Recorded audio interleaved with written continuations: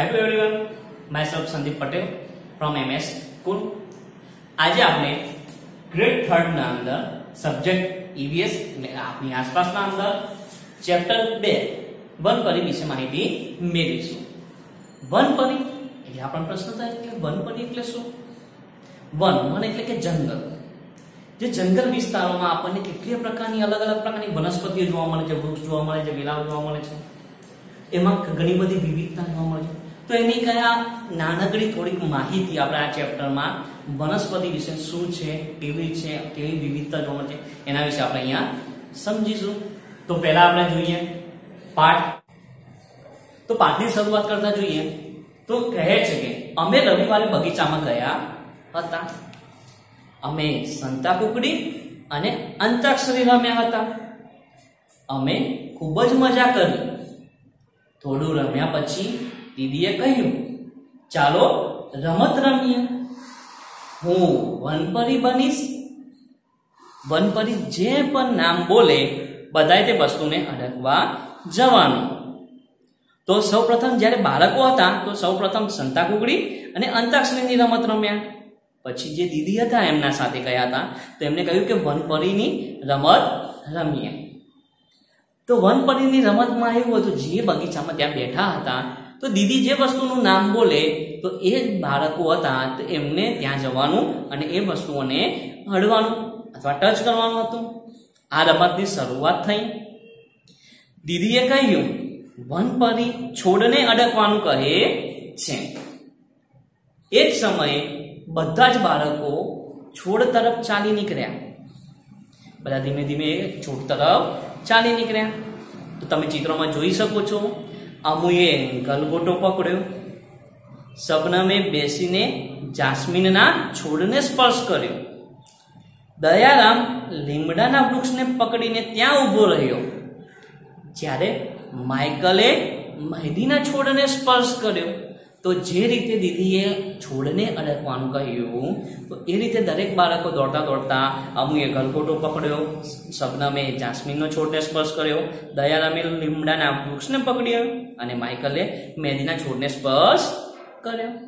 હવે બીજું બે જોઈએ છે તો કે દીદીએ કહ્યું, સરસ, બધાએ છોડને સ્પર્શ કર્યો. પરંતુ તમે જોયું, બધા એકબીજાથી અલગ છે. સબનમે કહ્યું, દીદી, તમે એક નાના છોડ ઉપર બેઠા છો. દીદી, તમે એક નાના છોડ ઉપર પણ બેઠા છો. તો નીચે પ્રશ્ન આપેલો છે, શું તમે કહી શકો છો? દીદી કયા છોડ ઉપર બેઠા હશે? તો આપણે જ્યારે બગીચામાં ગયા હોઈએ છીએ, તો આપણને ખબર છે કે બગીચામાં નીનો, નીચેની જે જમીન ઉપર નાનું નાનું ઘાસ હોય છે. તો એ ઘાસ હોય છે તે તેના ઉપર બેઠા હોય છે, જેને આપણે લોન પણ કહેતા હોઈએ છીએ. રમતની ફરી શરૂઆત થઈ. વનપરીએ હવે કહ્યું, એવા વૃક્ષને અડો, જેનું થડ જાડું કે પાતળું હોય. બાળકો ફરી જાડું અથવા પાતળું થડ હોય તેવા વૃક્ષને અડવા દોડ્યા. જે ચિત્રમાં અહીંયા બતાવ્યું છે. તો આપણે એવા કેટલાય વૃક્ષો જોયા છે કે જેનું જડ થડ જે હોય છે, એ જાડું પણ હોય છે અને કેટલાકનું પાતળું પણ હોય છે. તો આપણે જોયું છે કે વડ છે, લીમડો છે, જે મોટા મોટા વૃક્ષો છે જેનું થડ બહુ જાડું હોય છે. જ્યારે દાડમ છે ચીકુડી જે એના થડ બહુ પતલા હોય છે. માઇકલે રમતને ખૂબ જ રસપ્રદ લાગી. તેને વિચાર્યું વનપરી કેટલી નસીબદાર છે. બધાને આદેશ આપી શકે છે. માઇકલે કહ્યું, મારે પણ બનવું છે. જ્યારે માઇકલ હતો જેને મહેંદીના છોડને સ્પર્શ કર્યો હતો, તો એને રમત એટલી બધી મજા આવી છે, કે મસ્ત છે. એને વિચાર્યું કે વનપરી કેટલી બધી નસીબદાર છે, કે બધાને આદેશ આપી શકે છે. તો માઇકલે કહ્યું કે મારે પણ વનપરી બનવું છે. તો બધા બાળકો મોઢેથી હસ્યા. તો કહે છે કે, છોકરો, પરી બને. હવે બધા નવી વનપરી પાસે આદેશ લેવા તૈયાર હતા. તો કે છોકરો, પરી બને. પરી હંમેશા કોઈ હોય, એક છોકરી જેવી હોય છે. તો બધા કહે છે કે, છોકરો બને. પછી માની અને માઇકલને વનપરી બનાવી. અને બધા નવા વનપરી પાસેથી આદેશ લેવા તૈયાર થયા. માઇકલે કહ્યું, મને થોડા પર્ણો લાવીને આપો. માઇકલે હવે જે મનપરી બન્યો હતો, તો એને કહ્યું કે, મને થોડા પણનો લાવીને આપો. પણનો એટલે કે પાંદડા લાવીને આપો. તો બધા છોકરાઓ દોડતા હતા. ત્યાં દીદીએ બીજું એમ કહ્યું, પરંતુ યાદ રાખજો, તમે જે પાંદરા વૃક્ષ પરથી તોડી શકશો નહીં. તમે જે પર્ણો લાવશો, જે પાંદડા લાવશો, એ વૃક્ષ ઉપરથી તોડવાના નથી. જમીન ઉપર જે ખરી ખરી પડેલા પાંદડા છે, એ ખરી પડેલા પાંદડા તમારે લાવવાના છે. શું બધા પાંદડાના રંગ, આકાર અને કિનાર સમાન હોય છે? તો નીચે ફોટો આપણે જોઈ શકીએ છીએ. તો એના અંદર જે છોડના પાન આપેલા જે અલગ અલગ વૃક્ષોના અથવા વેલાના પાન આપેલા છે, તો એના અંદર રંગ પણ વિવિધ દેખાડ્યો છે, એમના દરેકના આકાર પણ અલગ છે. અને એમની કિનારી, એટલે કિનારી એટલે જે સાઈડનો ભાગ છે, એ પણ દરેકના અંદર અલગ અલગ જોવા મળે છે. તો દયારામે કહ્યું, હું આટલા બધા પ્રકારના પાંદડા વિશે જાણતો ન હતો. જ્યારે પાંદડા જે બાળકો હતા એમને વનપરીના આદેશ ઉપરથી પાંદડા ભેગા કર્યા અને અલગ અલગ પ્રકારના રંગના, અલગ આકારના અને અલગ કિનારી વાળા પાંદડા જોયા. તો જેના કારણે દયારામે કહ્યું, હું આટલા બધા પ્રકારના પાંદડા વિશે જાણતો જ ન હતો. જુઓ કેટલાક ગોળ છે, કેટલાકનો આકાર લાંબો છે, જ્યારે કેટલાક પાંદડા ત્રિકોણાકાર છે. તો અમુએ કહ્યું, તેમના રંગ પણ અલગ અલગ છે. કેટલાક ઘેરા લીલા રંગના છે કેટલાક આછા લીલા છે, કેટલાક પીળા લાલ અને જાંબલી પણ છે. એક પાંદડું એવું છે જે લીલું છે, પણ તેમાં પાછા સફેદ ડાઘ પણ જોવા મળે છે જે ઉપર દેખાઈ રહ્યું છે. પાંદરાઓની કિનારી પણ અલગ અલગ જોવા મળી રહી છે. કેટલાકની કિનારી સીધી છે, કેટલાકની કિનારી આડી અવળી છે. શબનમે કહ્યું, કેટલાક પાંદરાઓની કિનારી તો કરવત જેવી હોય છે. આપણે જોઈ હશે કરવત. તો કરવતનો આકાર ઉપર નીચે જે નિવાળો હોય છે, એવા કેટલાક પાંદડાઓની નિશાની પણ જે કિનારી હોય છે, એ પણ કરવત જેવી હોય છે. અમુ અને શબનમે સાથે બૂમ પાડી. અમારે પણ વન પરી બનવું છે.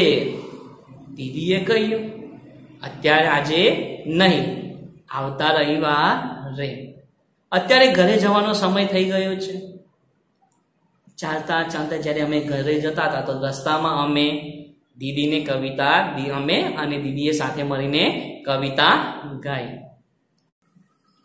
તો આપણે પાઠમાં જે જોયું વનપરીની જે રમત રમતા હતા, તો એના ઉપરથી આપણે થોડા હવે ડિટેલમાં જઈએ કે પ્રશ્નો ઉપર જઈએ કે એના થોડીક મુદ્દાઓ જોઈએ. તો બગીચામાં તો બગીચામાં દીદી સાથે કોણ કોણ ગયું હતું? તો બગીચામાં દીદી સાથે અમુક શબનમ માઇકલ અને દયારામ ગયા હતા. અમુ શબનમ માઇકલ અને દયારામ ગયા હતા. તો આ લોકો બગીચામાં કઈ રમત રમ્યા? તો સંતા કુકડી અને અંતાક્ષરીની રમત રમ્યા. બગીચામાં અમુ શબનમ માઇકલ અને દયારામ અને દીદી સંતા કુકડી અને અંતાક્ષરીની રમત રમ્યા. અંતાક્ષરી અને સંતા કુકડીની રમત રમ્યા પછી બંને બધા કયા રમત રમ્યા? તો વન પરિણામની રમત રમ્યા હતા, જે આપણે પાઠના અંદર જોઈ. હવે અંદર પ્રશ્ન હતો કે જોયેલા પાનના નામ લખો. તો આપણે આજુબાજુમાં ઘણા બધા વૃક્ષો હોય છે, ઘણા બધા છોડ હોય છે, ઘણા બધા વેલા હોય છે. તેના પાંદડા જોયેલા હોય છે. તો લીમડાનું પાન, પીપળાનું પાન, વડનું પાન, તુલસીનું પાન આસોપાલવનું પાન. એના સિવાય પણ આપણે ઘણા બધા પાંદડાઓ પણ જોયેલા હોય છે એના પછી બીજો પ્રશ્ન હતો કે બગીચામાં શું શું જોવા મળે છે? બગીચામાં જઈએ છીએ, તો ત્યાં કઈ કઈ વસ્તુઓ જોવા મળે છે? તો બગીચામાં આજુબાજુમાં વૃક્ષ, છોડ, વૃક્ષ અને છોડ ઉપર ઉગેલા ફૂલો, ઘાસ, વેલાઓ, ત્યાં બેસવા માટે આવેલા માકડા, પાણીનો નળ અને બગીચામાં આવેલા રમત ગમતના સાધનો વગેરે બધું બગીચામાં જોવા મળતું હોય છે. તો પૃથ્વી ઉપર વિવિધ પ્રકારની વનસ્પતિ જોવા મળે છે. આપણે આસપાસ જોઈએ છે તો કેટલી અલગ અલગ પ્રકારની વનસ્પતિ જોવા મળે છે. તો પહેલું તો જોઈએ તો વનસ્પતિના મુખ્ય પ્રકાર. વનસ્પતિના મુખ્ય પ્રકાર. તો વનસ્પતિનો મુખ્ય પ્રકારમાં વૃક્ષ, જેને આપણે ઝાડ પણ કહીએ છીએ, છોડ, વેલા અને ક્ષુપ જે વનસ્પતિના મુખ્ય પ્રકાર છે. તો હવે જોઈએ કે વૃક્ષ કોને કહેવાય છે એના વિશે માહિતી મેળવીએ તો જે વનસ્પતિ કદમાં અને ઊંચાઈમાં મોટી હોય, જે વનસ્પતિ કદ અને ઊંચાઈમાં મોટી હોય અને જેનું થડ થડ એટલે કે પ્રધાન જેનું થડ આવે છે, એ થડ જાડું અને મજબૂત હોય. તો તેવી વનસ્પતિને વૃક્ષ કહે છે. ફરીથી યાદ રાખજો કે જે વનસ્પતિ કદમાં અને ઊંચાઈમાં મોટી હોય અને જેનું થડ જાડું અને મજબૂત હોય, તો તેને વૃક્ષ કહે છે. તો વૃક્ષના ઉદાહરણો જોઈએ, તો વડ, લીમડો, આંબો, પીપળો વગેરે વૃક્ષ કહેવામાં આવે છે. હવે એના પછી આવે છે કે છોડ. તો છોડ અને વિશે માહિતી તમે? તો ઊંચાઈમાં નાની હોય અને તેનું પ્રકાંડ, એટલે કે તેનું થડ ઊંચાઈમાં નાની અને લીલું તથા કુમળું થડ હોય. જે એનું પ્રકાંડ હોય, જે થડ હોય છે તો એ કેવું હોય છે? લીલું અને કુમળું હોય છે. તો ફરીથી યાદ રાખો કે ઊંચાઈમાં નાની અને લીલું તથા કુમળું થડ ધરાવતી વનસ્પતિને છોડ કહે છે. ઊંચાઈમાં ખૂબ જ નાની હોય અને જેનું થડ હોય છે, એ કેવું હોય છે? લીલું અને કુમળું કુમળું એટલે નાજુકથી આપણે જો બને બનીએ તો એકદમ તૂટી પણ જાય. તો ઊંચાઈમાં નાની અને લીલું તથા કુમળું થડ ધરાવતી વનસ્પતિને છોડ કહે છે. તો આપણી આસપાસમાં કયા કયા છોડ જોવા મળે છે? તો એના ઉદાહરણ જોઈએ તો બારમાસી છે, રીંગણ છે, આપણા ઘર આંગણે જોવા મળતી તુલસી, આ બધી પ્રકારે એ છોડ પ્રકારની વનસ્પતિઓ છે. હવે એના પછી આવે છે કે વેલા. તો વેલામાં તો વેલાના થડ, પાતળા અને નબળા હોય છે. જે વેલો હોય છે, આપણે આસપાસ ઘણા પણ વેલા જોયા છે ખબર હશે. તો વેલાના થડ, પાતળા અને નબળા હોય છે. એકદમ પતલા હોય છે અને નબળા હોય છે. તેથી આવું એના જે થડ હોય છે, એકદમ નબળું હોવાના કારણે તે ટટ્ટા ઊભું રહી શકતા નથી. પેલાનું જે થડ હોય છે, એકદમ પતલું હોય છે. જેના કારણે નબળું હોવાના કારણે એકદમ ટટ્ટા લઈ શકતા નથી. તેના કારણે શું હોય છે? જમીન ઉપર ફેલાયેલા હોય છે. તો વેલાના થર પાતળા અને નબળા હોય છે, તેથી તે ટટ્ટા ઊભા રહી શકતા નથી. તે અન્યનો આધાર લઈ તેના ઉપર વીંટળાય છે. અન્યનો આધાર લઈને તેના ઉપર વીંટળાય છે. એટલે કે જ્યારે કોઈ પણ ઝાડ હોય છે કે કોઈ પણ લોખંડનું હોય કે કોઈ જ્યારે વેલો હોય છે તો એના ઉપર શું થાય છે? આમ વીંટળાય વીંટળાઈને પોતાનો અંદર ઉપર જતો હોય છે. તો જ્યારે પણ વેલો હોય છે, તો એના ઉપર જઈને સહારે ઉપર ચડતો હોય છે પણ પોતે ફટતા ઊભો રહી શકતો હોતો નથી. અને આના જ કારણે તેનું વેલાનું આયુષ્ય ખૂબ જ ટૂંકું હોય છે. આપણી આસપાસ દૂધી, કાકડી, દ્રાક્ષ, વટાણા વગેરે જેવા વેલાઓ જોવા મળતા હોય છે. તો છેલ્લો પ્રકાર જોઈએ ક્ષુપ તો ક્ષુપ કોને કહેવાય છે? તો છોડ કરતા મોટી. જે છોડ છે એના કરતા મોટી, પણ વૃક્ષ કરતા નાની. છોડ કરતા મોટી અને વૃક્ષ કરતા નાની. વનસ્પતિને ક્ષુપ કહેવામાં આવે છે. જે ક્ષુપ પ્રકારની વનસ્પતિ છે, એ જે આપણે છોડ જોયા, એ છોડ કરતા મોટી હોય છે, પરંતુ જે વૃક્ષ હોય છે વૃક્ષ કરતા નાની હોય છે. આ પ્રકારની વનસ્પતિને ક્ષુપ કહેવામાં આવે છે. તો ક્ષુપના ઉદાહરણમાં જોઈએ તો કયા કયા પ્રકારની વનસ્પતિઓમાં સમાવેશ થાય છે? તો મહેંદી કરેલ, જાસૂદ, લીંબુડી, દાડમડી વગેરે પ્રકારની વનસ્પતિનો સમાવેશ ક્ષુપમાં થાય છે. તો આમ આપણે વનસ્પતિના મુખ્ય પ્રકારો જોયા. વૃક્ષ છોડ, વેલા અને ક્ષુપ. તો આમ કેટલી અલગ અલગ પ્રકારની વનસ્પતિ જોઈ છે. તો આજે આપણે આ વિડીયોમાં જોયું વાર્તા જોઈ જે પાઠવી એના પછી અલગ અલગ પ્રકારની જે રમતો રમ્યા હતા બાળકો, એના વિશે માહિતી મેળવી. બગીચામાં શું જોવા મળે છે?